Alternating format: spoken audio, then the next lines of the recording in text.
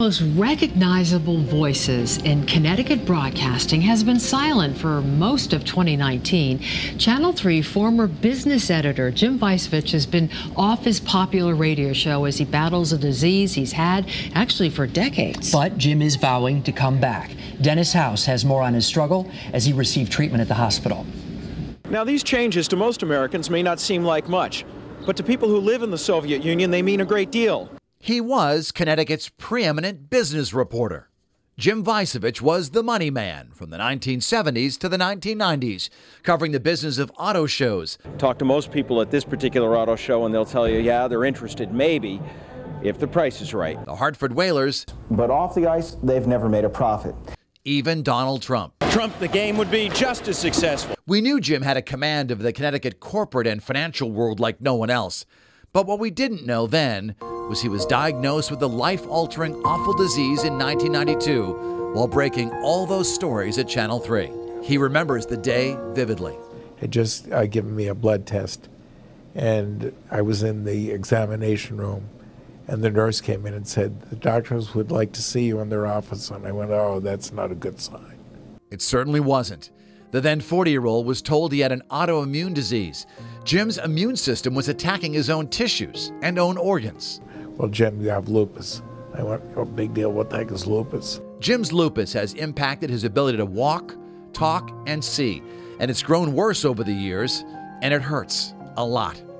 Rock bottom came in January when he suffered a debilitating stroke. Those with lupus are more susceptible to strokes. That was the low point. That was when I almost gave up.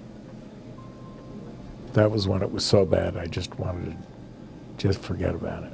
What is the most difficult thing about going through this lupus battle? To be able to put up with a lot of pain every day and a lot of frustration.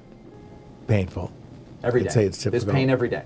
Yeah, uh, getting up in the morning, Jane helps me, helps me. She helps me get dressed. Jane is Jim's Czech-born fiance, by his side all the time. So you have a lot of living left.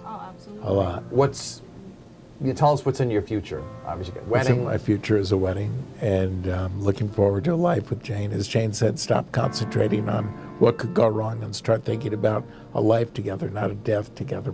I love her, so that drives me a lot. And I say I haven't finished my mission here to talk about liberty and freedom. That's critical for me. Yes, the talk show, Sound Off Connecticut on WTIC AM. Jim misses it and plans on getting back on the air as soon as he's better. What do you need to do in terms of your health to get back on the air? I need to be able to carry on conversations for at least three hours. So, do I have the strength and the stamina to do that? That's what I'm working on right now. Jen and I practice in front of the computer. Jane is always there for his treatments here at St. Francis Hospital in Hartford. He has an infusion of Rituxan, the strongest drug available for the management of lupus. When Jim comes here to St. Francis for these infusions, he's here much of the day, from 7 a.m. to 5 at night. And there is no end in sight for these treatments because there's no cure for lupus. He needs to do this uh, for life. It's actually um, very, very effective. My friend, you look good. You're the best. You look good, and you're going to make You know, it. You're going to just make it. Say, I didn't treat Dennis very well when he first came on board. Why? Because he was young and handsome and really, really talented. you know, the thing is, he's still young and handsome and still really, really talented. I learned so much from you, my friend. I did. I, you were intimidating because you were so good. I, I didn't think I could make it at Channel 3 because of this guy. So, how do you know if you're really getting a good deal? Well, retailers we talked with say you really should get to know a garment and get to know quality. Ask some questions.